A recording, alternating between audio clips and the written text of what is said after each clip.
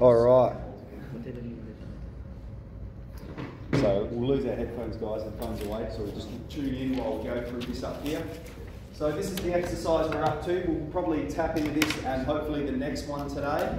So, so 13E, what we're doing here is solving exponential equations. Now we've actually done this already and we did this by equating bases. Uh, and that only works if they have a base in common. What we're going to do here is use logarithms, and we're using particularly this rule of logarithms. Now the number one rule when we're solving equations is you can do anything as long as you do it to both sides of the equation, right? We learn that in sort of like year eight maths. It's like a, like a scale, it has to be balanced.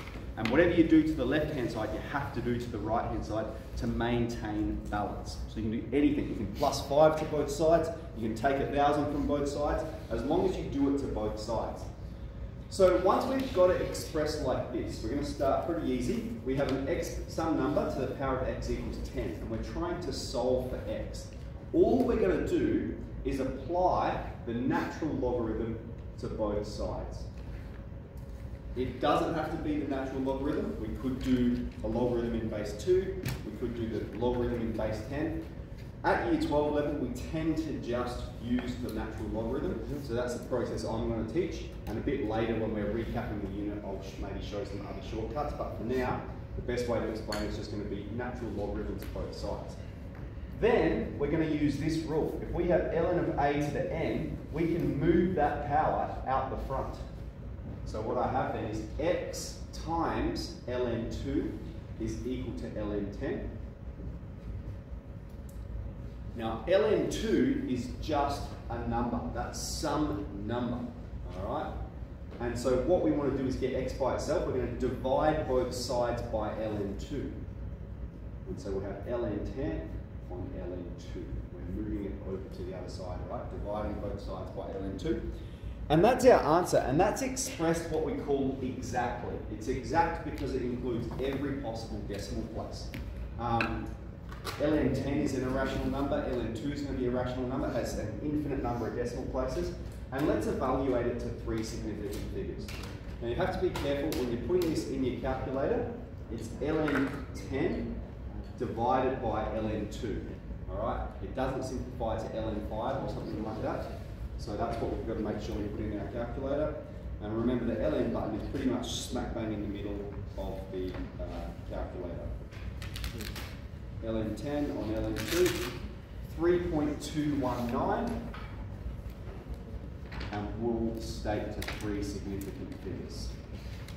Okay, so we have the answer expressed exactly, and then we have the answer rounded to three significant figures. Now, normally in a test, we stress how we want you to answer the question. And particularly when we're solving equations, we tend to say, find the solution exactly. So that means you don't have to put your calculator, you just find it here. Every now and then we'll say, find the solution to three significant figures, and that's when you do have to put that in your calculator to get the extra mark for the rounding. Okay, let's repeat the same process for the next one. We're going to apply the natural logarithm to both sides. Move the x out the front.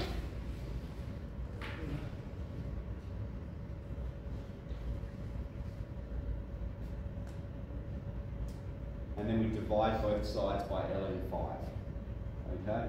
So maybe I just talk through that step manually quickly. If I'm dividing both sides by ln5, I have the same thing on the left-hand side here. I've got ln5 at the top and at the bottom, and it's common to everything at the top and the bottom, so it can cancel. It's at the top and the bottom, so it cancels, right? And so we're left with ln200 on ln5. We divided by ln5 so that we can get rid of it. Uh, and so that will be our answer there. And again, we can state it to three significant figures. All right, so we'll do that quickly. ln of 200.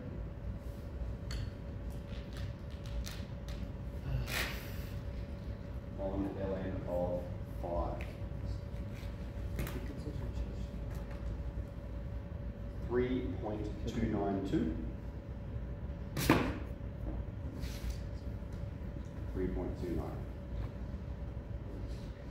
Okay, I've got e to the x equals 350. So again, we'll start the same thing. We're going to apply ln to both sides.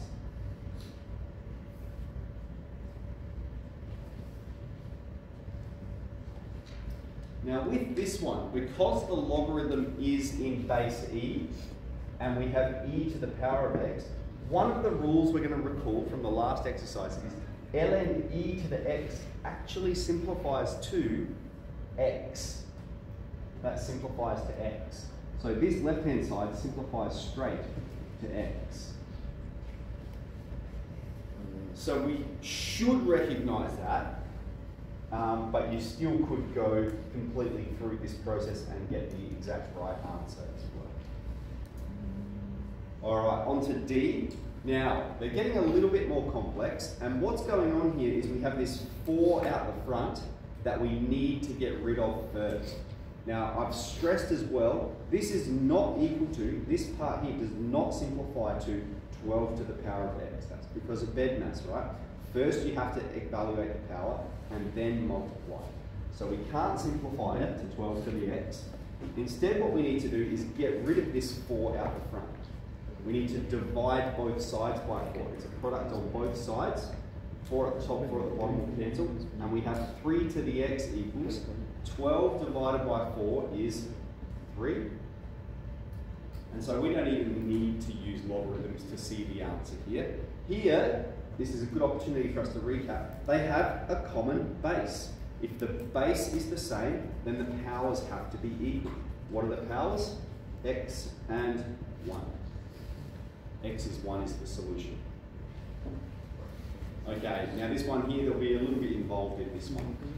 So, just like we did with D, we're going to get rid of that 5 first, divide both sides by 5.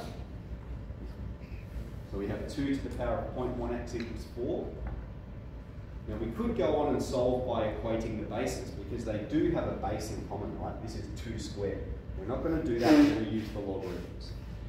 So I'm going to put the natural logarithm on both sides. I'm going to move the 0.1x out the front.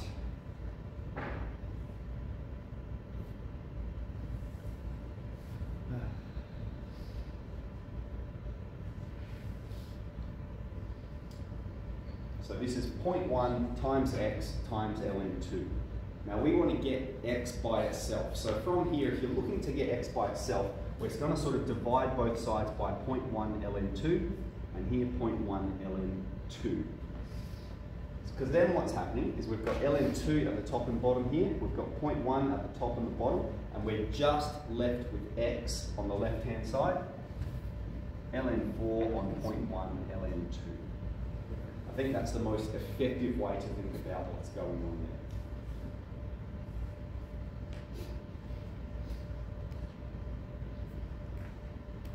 there. And we can evaluate that to three significant figures. So we've got ln4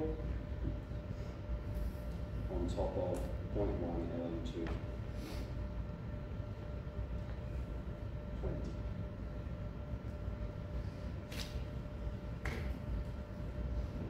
20. Okay, so um, this is what we're going to start with, solving equations using logarithms. So let's rip straight into this exercise. It will start all right, and it will get more complex as we're going through it.